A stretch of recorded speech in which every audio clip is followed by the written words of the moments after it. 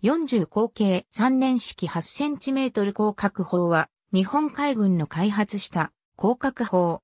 通称8センチ広角砲。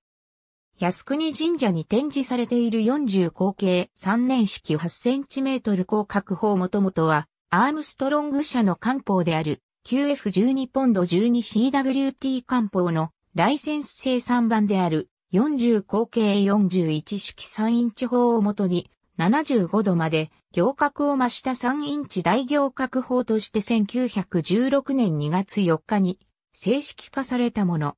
その後40口径3インチ大行角砲、40口径8センチメートル広角砲と解消し、さらに1922年3月29日に40口径3年式8センチメートル広角砲と解消された。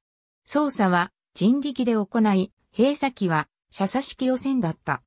大正期の代表的広角砲として5500トン型軽巡洋艦や、不装型戦艦、伊勢型戦艦、空母、砲掌などに搭載された。昭和期に入り徐々に他の対空兵装に置き換わっていき、太平洋戦争時には旧式砲となっていた。しかし砲艦などの小艦艇や特設艦船などにはまだ搭載されていた。また、南方各地の防空砲としても使用されている。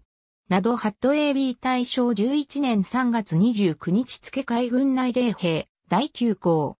40後継ではない。